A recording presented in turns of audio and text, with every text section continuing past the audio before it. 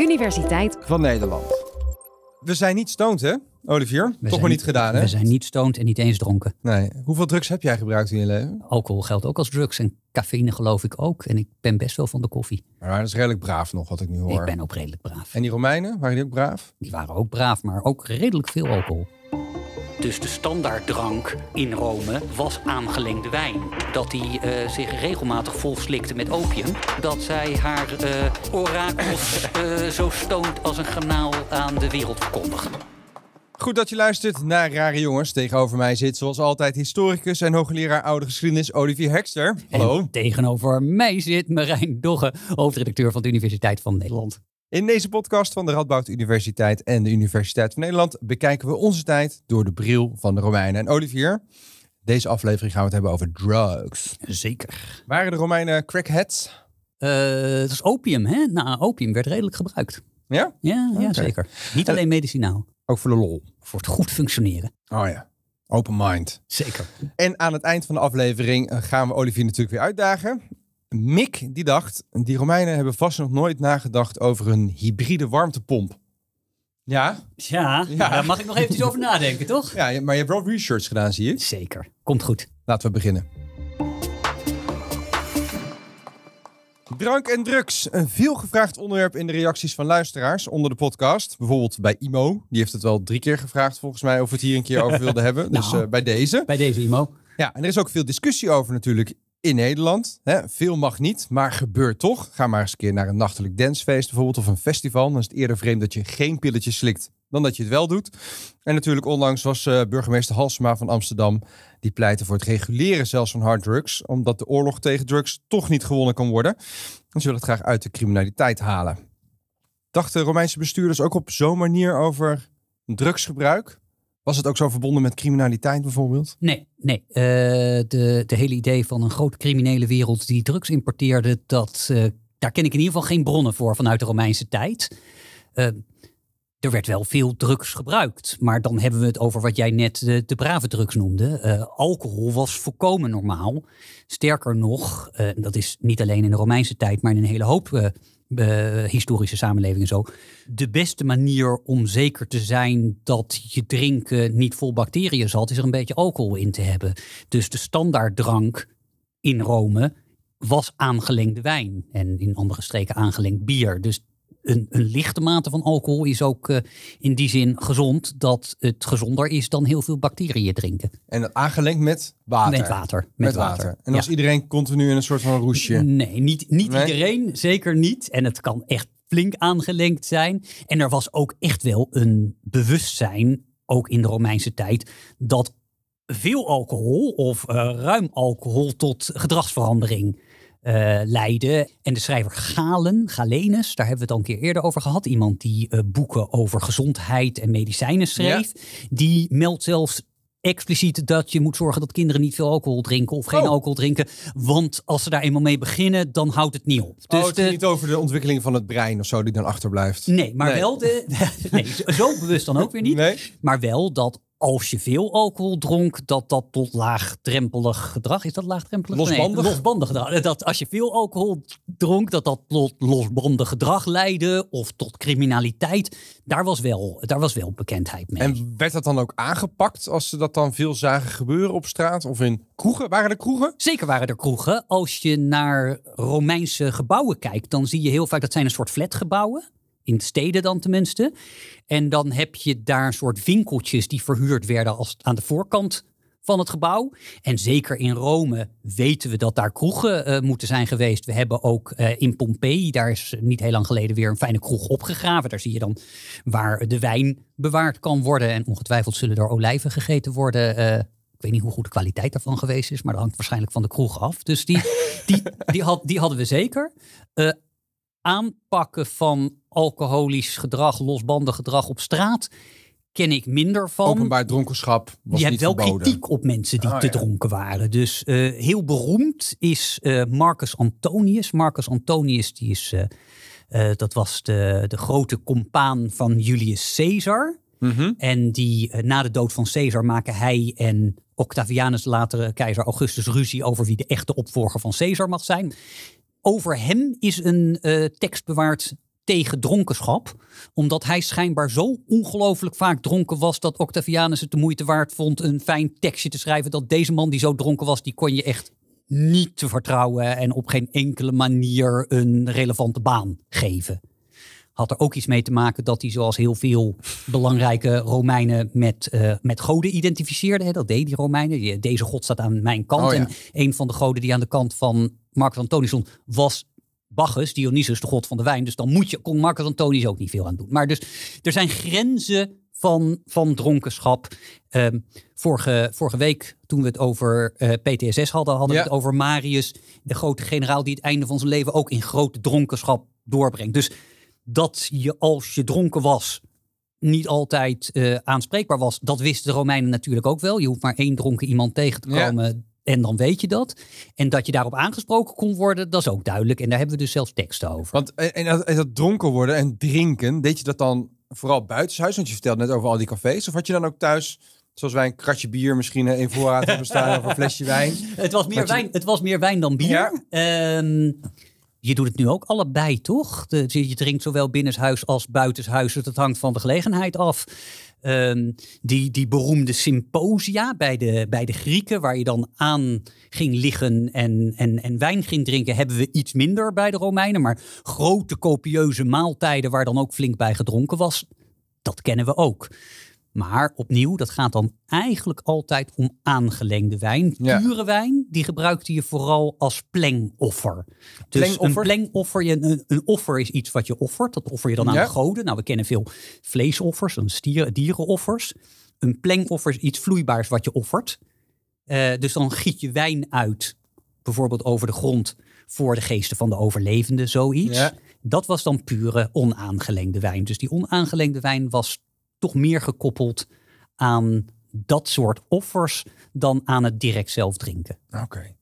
En die wijn, was die eigenlijk een beetje lekker? Maar je, hing er vanaf of je goede of slechte wijn had. Dus de, Dat had je de wijn, wel, ja, ja. Zeker had je dat. De, de, de wijnen in, eh, in Spanje waren heel bekend. De wijnen in stukken Italië die waren heel bekend als goede wijnen. Zo rond, rond de Rhône werd ook al redelijk wat wijn gemaakt. Dus nee, De wijnsnop, die was ook al uitgevonden. ongetwijfeld was die al uitgevonden. En we hebben echt wel mensen die probeerden speciale wijngebieden te kopen om daar winst uit te maken, omdat dat de betere wijnen zouden zijn. Eh één iemand ervan gaat er zelfs failliet aan omdat die wijnranken het niet goed doen. Dus de, de wijnspeculatie, eh, goede wijnfabricatie, dat hebben we allemaal al. En dan, ja, ben ik toch heel benieuwd naar die drugs. Ook heel veel drugs. Ja, ja ook heel veel drugs. Ook heel veel Dat drugs. Eh, Dankjewel, gelukkig, heel veel.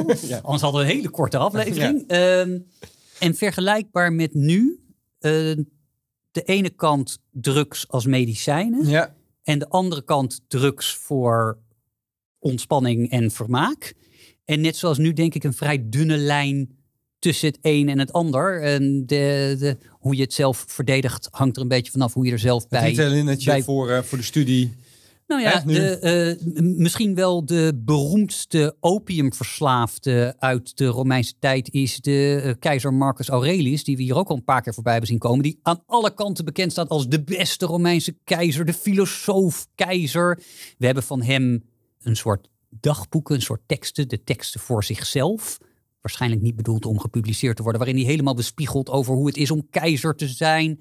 Hij was een, een stoicus, een van de filosofen, waar we vorige week toevallig ook al over hadden. Dus hij staat helemaal bekend over de filosoof-keizer die het allemaal goed gedaan heeft, die de senaat in ere hield. Maar eh, we weten van zowel eh, zijn auteur Cassius Dio als van, van Galenus dat hij eh, zich regelmatig volslikte met opium. En dat dat ook de manier was waarop hij het gewoon voor elkaar kreeg om zoveel te doen. Dus eh, Cassius Dio die zegt echt Oh, die had dat... gewoon echt, eh, hij was een beetje een workaholic en die had gewoon af en toe een oppeppertje nodig. Ja, nou ja, de, de, de- Dio zegt dat het was ook om zijn, zijn maag- en buikpijn tegen te gaan. Slik je ja. opium, dat snap je. Of, eh, maar dat maakt het ook mogelijk voor hem om alle dingen voor elkaar te krijgen die hij eh, als keizer moest, moest doen. En ehm Galenus, die dus echt in deze tijd schrijft en interesse in medicijnen heeft, dus daarom voor dit onderwerp ontzettend interessant is, die schrijft dat eh, Aurelius af en toe probeert van die opium af te komen, omdat het wel beter gaat en dat hij dan echt wel een beetje humeurig wordt. Dus hij lijkt daar Maar ze wilden er dus ook van af. Ze wilden het dus gebruiken, maar ze zagen dus wel in dat het niet helemaal goed was om het altijd maar te gebruiken. Ik heb geen idee. Er wordt Nee. niet gezegd waarom hij ervan af wilde. Ik kan me Mhm. voorstellen dat zijn pijn wat minder was en hij daarmee ophield. Ik kan me ook voorstellen dat hij gewoon zo permanent door de kamer stuiterde dat hij zelf iets anders wilde proberen. Weten we niet. Wat we weten is dat Galenus inderdaad schrijft, hij ging minderen, hij ging er vanaf Mhm. en kreeg daar echt, nou ja, eh, de, je merkt het aan zijn gedrag. Dus hij kreeg afkikverschijnselen. Dus eh, ik denk dat volgens mij het Galenus ook eh, is die zegt dat de opium hem wel helpt om gedurende de hele nacht door te werken, maar dat hij dan overdag een beetje slaperig werd. Oh, dus ja. dat dat ook wel een reden was om daarvan af te komen. Maar je ziet dus inderdaad wel dat duidelijk was dat de verandering van gedrag gekoppeld werd aan het gebruik van die drugs. Nou, dit is dus precies zo'n zo'n zo'n twijfel tussen medicinaal en amusement. Ja, precies. Want eh, werd drugs eigenlijk op dezelfde... eh, Als, als we drank en drugs nu vergelijken in onze maatschappij... is drank veel meer geaccepteerd? Was drugs net zo geaccepteerd in de Romeinse tijd als dat drank was? Of zat er ook nog wel een verschil tussen? Is Zat- dat te achterhalen? Is, is lastig te achterhalen, vooral omdat, zoals gezegd, die lichte vorm van alcohol zo ontzettend normaal was. Ja. Als je het hebt over alcoholmisbruik of drugsmisbruik, dat werd beide, daar werd beide van gezegd dat dat niet oké was. Ja. Dus als je gedragverandering onder invloed van drugs, daar werden opmerkingen van gemaakt. Dat, eh, en daar hebben we weer de beroemde Plinius, die we hier al heel vaak tegen zijn gekomen. Die inderdaad ook zegt, als je dit te veel gebruikt, als je die opium te veel gebruikt, als je die cannabis, die hennep te veel gebruikt, dan word je onuitstaanbaar en dan word je crimineel. En dat moet je allemaal niet doen en dat is, dat is slecht voor je. Ehm, drugs wordt natuurlijk veel meer dan alcohol gebruikt als medicijn. En Ja. veel weten we over drugs ook als beschrijving voor de effecten die ze hadden uit teksten. Dus dan gaat het minder over dat we weten dat mensen ze gebruikten voor het amusement, maar dat we weten dat Romeinen zich bewust waren dat je door die drugs mensen kon kalmeren, kon ontspannen. Nou ja, ik, volgens mij ook al genoemd dat hele gave schapenbotje eh, gevuld met bilzekruid, wat een, een tijdje geleden hier in Nederland gevonden wordt. In houten? Eh, Ja. Precies. Ja, dat wordt ook gebruikt als, eh, als verdoving. Maar het wordt ook gebruikt als geestesverruimend. We weten die, dat Romeinen zich bewust waren van allebei. Waar ze het precies voor gebruikten is vaak, vaak lastiger te zeggen. Soms, soms is het wel heel duidelijk. Er is een, eh, een, de resten gevonden van een 14-jarig meisje in de vierde eeuw. Dus in de vierde Ja. eeuw na Christus is een 14-jarig meisje begraven eh, bij, eh, bij Tjemes. Dat is dicht bij Jeruzalem. En daarvan zijn de botten geanalyseerd en de resten geanalyseerd.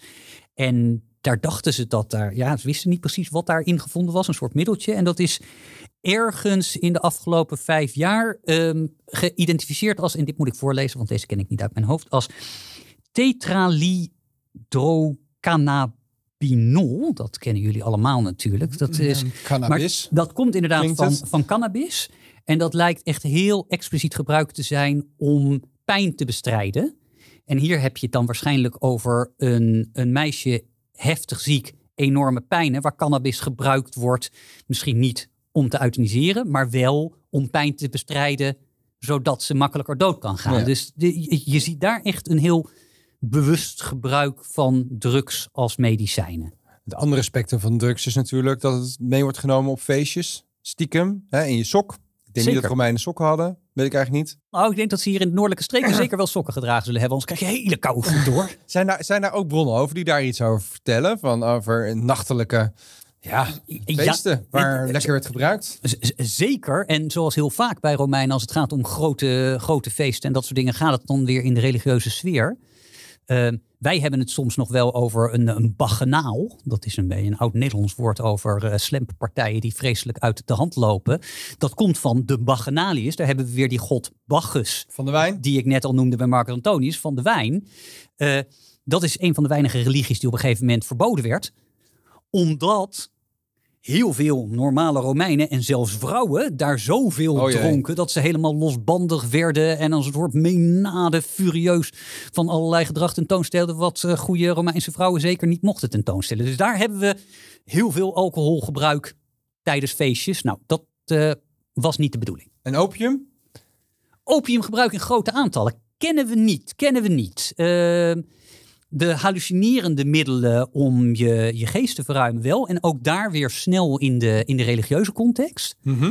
Dus eh, mensen hebben misschien wel eens gehoord van, van Delphi, het grote orakel van Delphi, die altijd in, in, in fijne eh, cryptische bewoordingen de toekomst voorspelde, zodat achteraf gezien altijd klopte wat zij had gezegd. Daar was de. Pythia, Kan dat was de, de priesteres. Het lijkt vrij duidelijk dat daar allerlei hallucinerende middelen eh, gestookt werden, zodat zij haar orakels eh, zo stoont als een granaal aan de wereld verkondigde. Dus daar. Maar opnieuw hebben we het daar niet echt over de, eh, het, het, de, de rave party. Nee.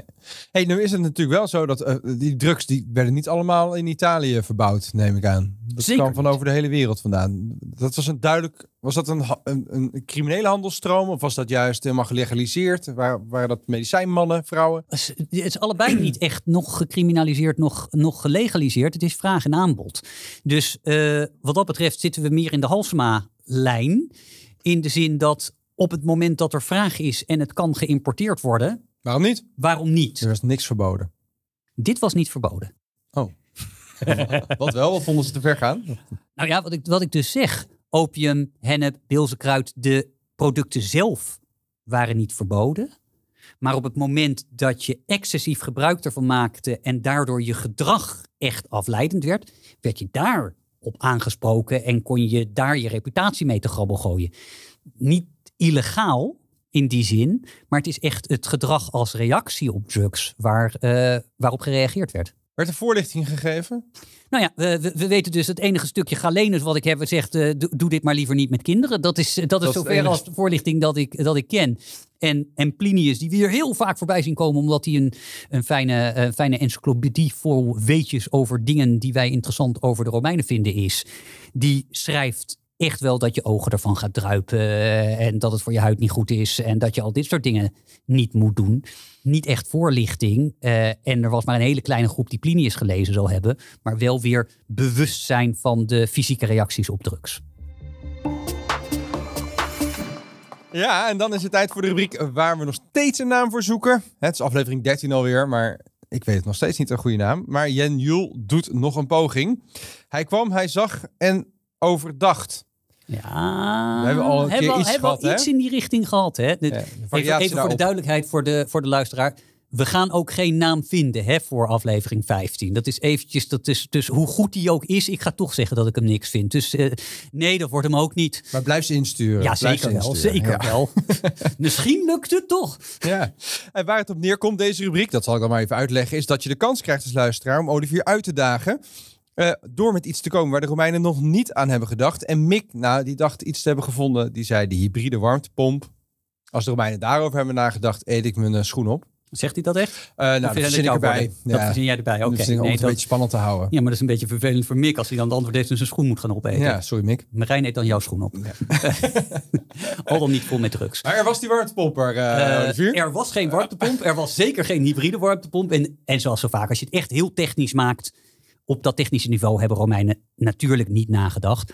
Waar Romeinen wel heel bewust mee bezig waren, was gebruik van eh, passieve zonnewarmte. En ook het opslaan van zonnewarmte in eh, muren en vloeren. Dus dan kom je redelijk in de buurt. En dat weten we het beste van de termencomplexen. Dat zijn die grote badencomplexen die in de grote steden van het Romeinse Rijk stonden. Dus Romeinen hadden geen persoonlijke badkamer, maar je had die enorme baden met heet water en koud water, soort sauna-achtige dingen, waar soms duizenden mensen tegelijkertijd in konden. Lekker hygiënisch. Ja. Eh, heerlijk hygiënisch. Maar die gebouwen, die zijn vaak niet geplaatst op de logische urbanistieke plaats. Dus die zijn dan niet parallel aan wegen geplaatst. ja. Maar die zijn altijd zo gebouwd dat ze grote ramen op het zuidwesten hebben.